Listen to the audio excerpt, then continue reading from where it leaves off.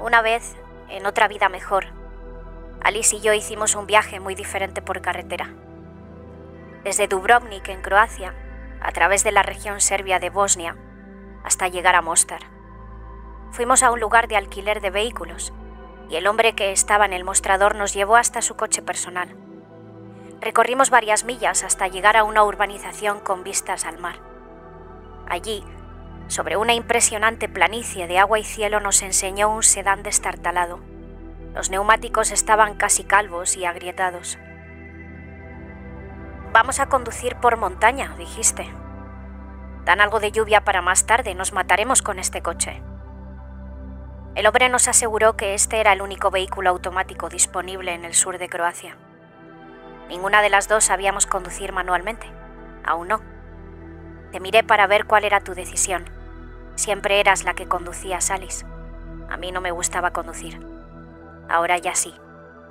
O tal vez me he convencido a mí misma de que sí, no lo sé.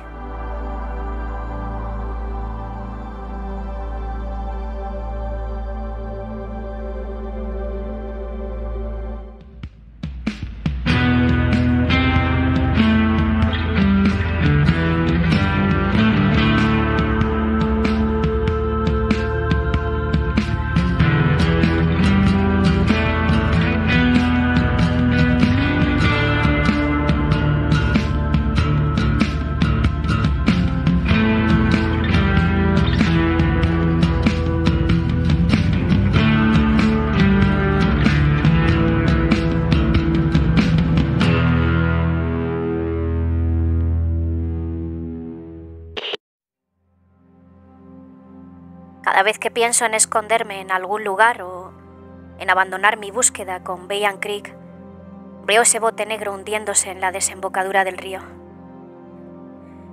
Así que volví a buscar a la mujer que dirigía el ejército de Bayan Creek en la ciudad de los Cardos.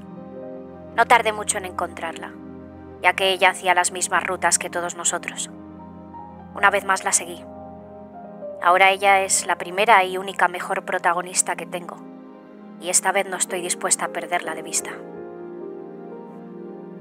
Perseguir a alguien en un camión no es fácil. Es un vehículo excesivamente visible en carretera. Decidí, en lugar de perseguirla, hacer todo lo posible por anticiparme a ella. Atajé su ruta por un camino en el que no se debería conducir un camión. Salpicaduras de barro y grava durante todo el recorrido. Después aparecí por una carretera estrecha que me llevó a un campo de hierba. En el centro de ese campo había un solo árbol con flores blancas. La luz del sol hacía parecer que cada flor se incendiase a la perfección. Parecía un cuadro precioso pero sin marco. Fue como una especie de recordatorio que algo milagroso puede emerger de repente, en lugares que nunca esperases ver algo así, como fue ese campo cubierto de maleza en algún lugar de Georgia. Me paré detrás de un cortavientos. Mi pierna estaba muy inquieta. Golpeaba la parte inferior del volante, pero ella no pasó. Había pasado demasiado tiempo para que llevase algo de retraso o hubiese hecho alguna parada. Seguro escogió una ruta diferente. Joder, no lo sé. maldita sea.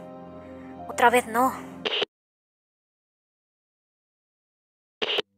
Así que nosotras dos, Alice y yo, en nuestra otra mejor vida, Subimos a ese destartalado sedán con ruedas lisas, un coche que más tarde en Mostar nos pareció el coche más bonito de todo Bosnia. Fuimos hacia la frontera. Ese tramo de costa era un hilo muy fino de playa. Aparecía en la columna vertebral de las montañas. Pronto entramos en la República Srpska de la región serbia de Bosnia. Conducimos a través de un plano muy bonito de canales y granjas. Estaba delimitado por el jack de las montañas, como si fuesen las paredes de una gran sala cuyo techo era el cielo y la alfombra cultivos y cementerios ortodoxos orientales. Una habitación de una casa, donde habían ocurrido muchos asesinatos, una habitación embrujada por sus fantasmas. Conforme avanzamos por la región serbia, Las montañas de basura ardiendo se alineaban en la carretera. No tenían infraestructura para manejar tantos desechos. Solo veías milla tras milla de miseria y humo. Las casas estaban a medio terminar. No las reconstruyeron después de la guerra, sino que las iban arreglando en función del dinero extra que podían conseguir. Era como tener una cuenta de ahorros hecha de ladrillos. A lo largo del camino vimos puestos que ofrecían miel. No parecía haber ni una sola casa en la región que no tuviese unos cuantos frascos para vender. Aún así decidimos no comprarla.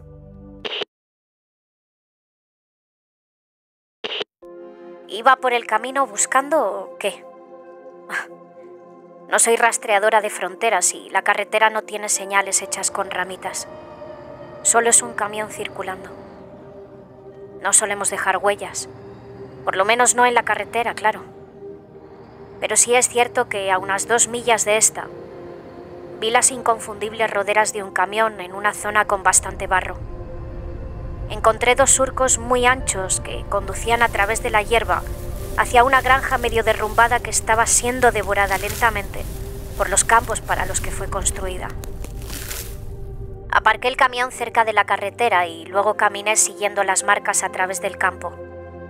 Llegaban a la casa y ahí acababan. No encontré ninguna pista de retorno. Tampoco vi ningún camión. Si no fuese por las roderas jamás habría adivinado que alguien hubiese pasado por esta propiedad en meses o tal vez años. Ni siquiera alguno ocupa para traer vida, luz o lenguaje a estas paredes inclinadas. En toda Bosnia y Croacia vi granjas abandonadas, pero no así. Esta es una casa que murió de una manera natural. Las otras fueron víctimas de la guerra familias expulsadas por sus vecinos porque eran croatas, o bosnios, o quizás serbios. Imagina que un día todos tus vecinos, junto con todas sus familias a las que conoces de varias generaciones, deciden que ya no puedes ser más su vecino. Y quizá no te lo dicen con palabras, sino con violencia. Ahora imagina ser uno de esos vecinos o el hijo de alguno de ellos 20 años después de la guerra. Sigues saliendo por la puerta de tu casa cada día para ir a trabajar. Vas con los ojos vacíos. Pasas por esas viviendas muertas y recuerdas que o bien tú o tus padres una vez hicisteis como cual truco de magia, desaparecer a toda una comunidad de personas. ¿Qué sientes en ese momento? ¿Vergüenza? ¿Orgullo? Piénsalo.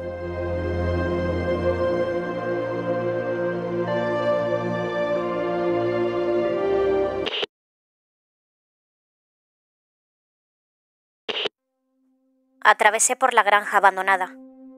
Tenía escombros y paredes caídas. Había polvo en todas partes. Latas de maíz y frijoles por la cocina. Una botella de un batido de chocolate medio vacía. El dormitorio tenía un colchón prácticamente podrido apoyado en una pared. Me daba miedo subir las escaleras. No confiaba en que aguantasen mi peso. El polvo que tenían estaba intacto Nadie caminó por ellas en mucho tiempo. Volví a la cocina. Pasé mi mano por una encimera sucia, pero esta volvió limpia. Me agaché para ver más de cerca esa superficie, apreciando al frente un lento amanecer. Habían pintado encima del polvo. Revisé otras partes de la casa. Allí el polvo era real, así que volví a la cocina. Confirmé que estaba todo pintado. Examiné centímetro a centímetro cada lugar de la cocina. Y así es como encontré encima del polvo pintado huellas dactilares en uno de los diales de la estufa. Lo giré y el suelo se movió. Toda la cocina era un ascensor que me llevó a la total oscuridad primero, y poco después hacia una luz brillante y uniforme. La polvorienta cocina en desuso ahora estaba en el extremo de un corredor de acero limpio.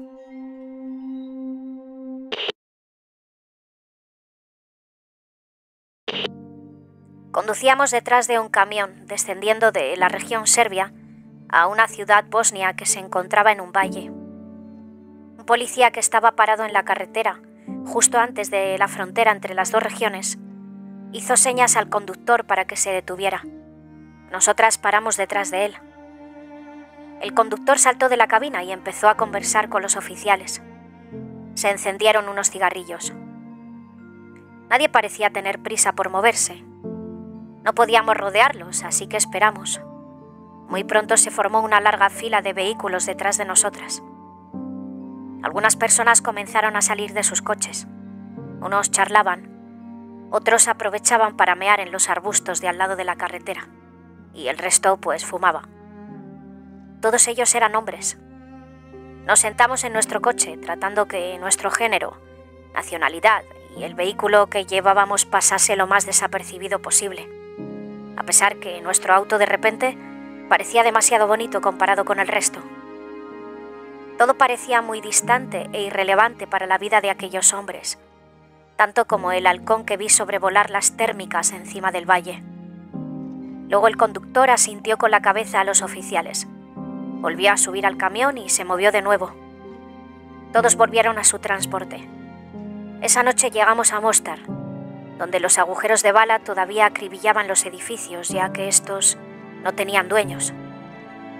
Había una colina que dominaba la ciudad. Allí los francotiradores católicos pasaron meses asesinando a sus vecinos musulmanes que estaban atrapados contra el río.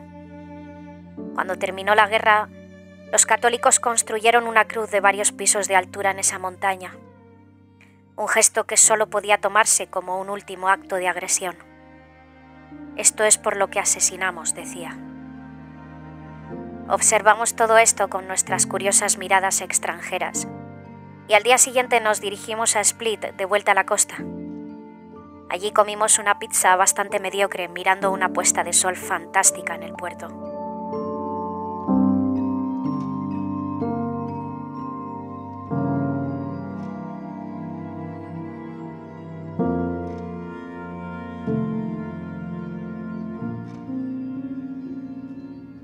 El pasillo de acero conducía a una puerta de seguridad. Estaba abierta. Más allá había una escalera colocada en la pared de una enorme caverna hecha por el hombre. Quizá abarcaba media milla y estaba llena de equipos de personas. Bajé algunos escalones. La mujer a la que había estado siguiendo me estaba esperando al final de las escaleras.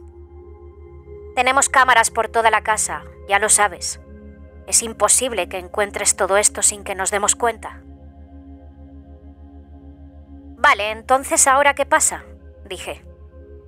Intentaba no perder el tiempo haciendo preguntas que ella no me iba a responder. Keisa, ¿por qué sigues poniéndome en esta posición? Parecía muy triste y frustrada. No quiero hacerte nada. Me gustas, Keisha. También me gusta Alice y Dios sabe lo que te ama esa mujer. Venga, no jodas, no te atrevas a hablarme de Alice, la contesté. Ella agarró la barandilla con los dedos y asintió. Respondiendo a tu pregunta de ahora qué pasa, pues lo lógico es que te mate. Es muy arriesgado que se descubra este lugar, y las dos sabemos que se lo contarás a alguien. Es algo que no puedes evitar. Pero lo que realmente va a suceder es que te voy a dejar marchar, Keisa. Nunca, nunca más volverás aquí. Vas a respetar por tu bien la decisión que estoy tomando Sé consciente que no hago esto para manipularte, sino porque de verdad creo que eres una buena persona. Y no hay mucha gente como tú. ¿Estamos de acuerdo? Me llevó de nuevo hacia el ascensor. Dio un paso atrás y presionó un botón en la pared. Cuando la cocina ascendió para llevarme de vuelta hacia el mundo, ella dijo, Conduce tu camión. Vive tu vida. No hay libertad una vez que descubres estos secretos, te lo prometo así que de nuevo me encontré en una casa vacía, sin señales de que otras personas hubieran estado allí durante mucho, mucho tiempo. Puede que tenga razón. Probablemente la tenga, sí.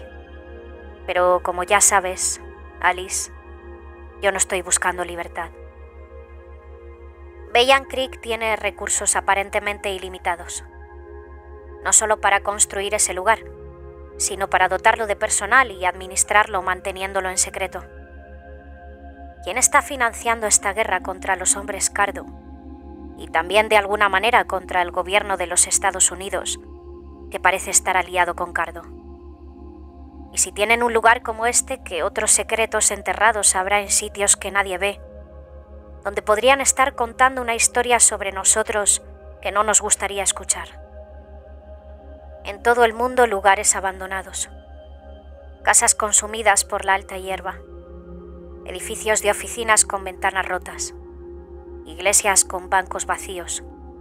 Y claro, dejando de lado los lugares que han sido enterrados, ahogados o destruidos de otra manera. Una vez, hace 100 años en Polonia había una sinagoga de madera en el campo. El interior estaba pintado con una vertiginosa profusión de color. Fue verdaderamente una obra de arte monumental, pues esa sinagoga fue quemada. ¿Qué se esconde en los lugares abandonados? Algunos agujerearon el dolor y el arrepentimiento, los crímenes olvidados y los no olvidados. Otros tienen personas viviendo allí, porque no pueden vivir en ningún otro lugar, porque necesitan esconderse o solo un techo sobre sus cabezas donde refugiarse aunque éste tenga agujeros. Las granjas de hormigón de los Balcanes tienen una historia que ya nadie quiere contar y ahora laberintos y laberintos y ascensores secretos. En los lugares huecos, en los lugares abandonados, hay movimiento y susurros.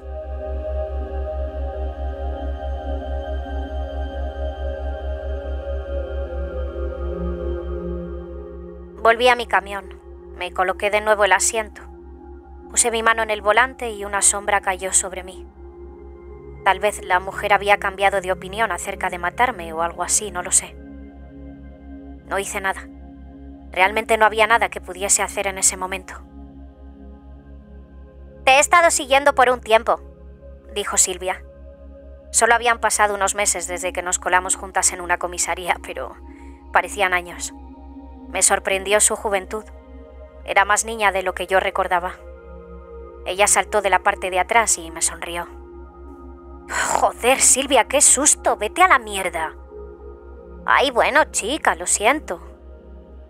Ella apoyó su cabeza en mi hombro por un momento y luego se recostó en su asiento. Necesito que me ayudes, dijo. No habría venido si no fuese importante.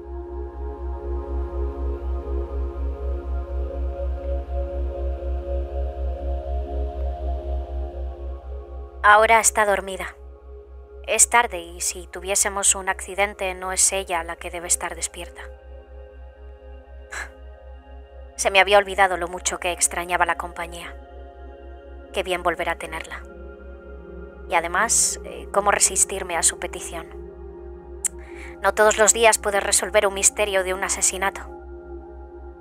Por lo pronto ahora solo llevo a una niña dormida de una manera muy segura a través de una noche un tanto hostil. Adiós, Alice. Hablamos pronto. Intenta mantenerte a salvo. Te amo.